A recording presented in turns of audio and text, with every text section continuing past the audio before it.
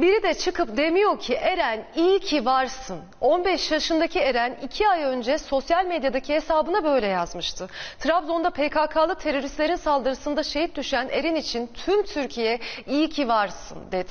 Aynı Kalleşposu'da şehit düşen iki çocuk babası Assubay Ferhat Gedik de geride iki evladını bıraktı ve doğum gününde toprağa verildi. Çatışma hala devam ediyor. Asker ateş ediyor. Teröristler jandarma geldiğinde Vay yaranım, vay yaranım. İlk o gördü teröristleri. Yerlerini de o gösterdi. Alın teri dökerek evine götürdüğü erzakların teröristler tarafından çalınmasını bir vatan evladı olarak içine sindiremedi. Oysa hainler pusudaydı. 15 yaşındaki Eren'i ve Assubay Ferhat Gedi'yi kalleşçe şehit etti.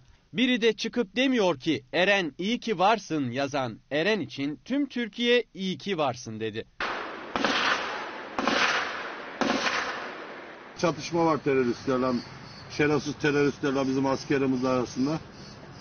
İnşallah gebertmişlerdir onları. Geçen yıl babasını kaybettikten sonra ailesinin yükü 15 yaşındaki Eren'in ve 12 kardeşinin omuzlarına yüklendi. Kardeşleriyle birlikte yokluk içinde yaşıyordu. Fanatik bir Trabzonsporluydu. Yüreği de vatan aşkıyla yanıyordu. Ben de askere gideceğim ve şehit olacağım diyordu. Plaj bilmezler, marka kıyafet bilmezler. Biz herkesin milletin verdiklerini çiğneriz. Bize biri bir şey verdi mi mutlu oluruz. 5-6 çuval unu varmış evde de çalınmış hep. Evden işte yağ, un, şeker türü şeyler alındı. Eren'in ailesi yayla evindeydi. Eren de fındık tarlalarında çalışıyor, onlara yevmiyesini gönderiyordu. Arada bir de evini kontrol ediyordu. Kapının zorla açıldığını, evlerinden erzakların çalındığını da o fark etti. Bu bölgede barınıyorlar ama kimse bunlara yardım yataklık etmiyor. İşte böyle bu evler boş. Yani birçok köydeki evler boş. Millet hep yaylada. Evlerin boş olduğunu biliyorlar işte buralardan erzak temin etmeye çalışıyorlar. Eren bölgede askerlerin PKK'lı teröristleri aradığını biliyordu.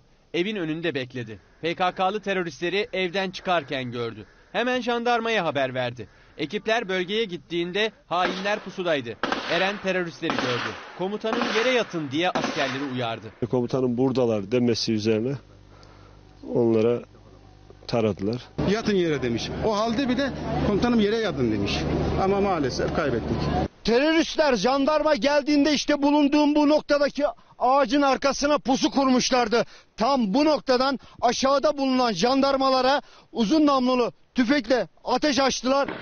Teröristlerle polislerimiz arasında çatışma çıktı galiba. Teröristler işte görmüş olduğunuz bu patika yoldan işte bu ormanlık alana doğru kaçtılar. 15 yaşındaki Eren Bülbül ve 41 yaşındaki jandarma Assubay Ferhat Gedik PKK'lı teröristlerin açtığı ateşte şehit düştü. Bir polis memuru da yaralandı. Çatışmadan sonra ormanlık alana kaçan teröristleri hem jandarma hem özel harekat ekibi ablukaya almış durumda. İşte görmüş olduğunuz gibi jandarma ekibi şu anda ormana doğru yürüyerek teröristleri bulmaya çalışıyor. Hain saldırıda şehit düşen Eren 2 ay önce sosyal medyadaki hesabında biri de çıkıp demiyor ki Eren iyi ki varsın yazmıştı. Bugün milyonlar Eren iyi ki varsın dedi. Maçka Belediye binasına da Eren'in dev bir posteri asıldı. Vay yaranım, vay yaranım. Bir yer gösterin bana olursunuz. Şehit çocuğun annesi ağıtlar yaktı. Maçka'daki cenazesinde binler vardı. İçişleri Bakanı Süleyman Soylu da cenazesinde saf tuttu. Ay yıldızlı bayrağı sarılı naaşını taşıdı. Aynı saldırıda şehit olan Assubay Ferhat Gedik'in de bugün doğum günüydü.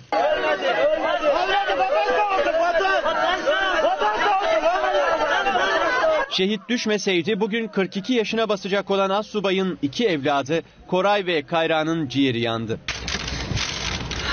Çok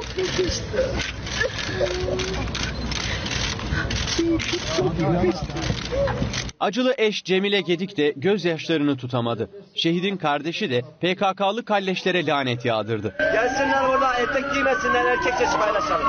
Gelsinler savaşalım erkek köşeler sizler. Hataylı hemşerilere son yolculukta şehidi yalnız bırakmadı. Hakkınızı helal edin.